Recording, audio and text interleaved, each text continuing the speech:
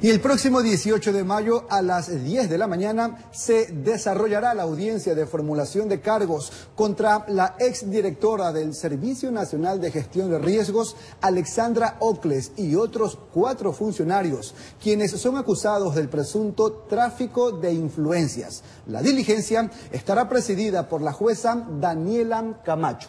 Y la investigación se da en el marco del presunto sobreprecio de 7 mil kits alimenticios los mismos que se cotizaron cada uno en 150 dólares aproximadamente, cuando el costo en el mercado sería de alrededor de 80 dólares.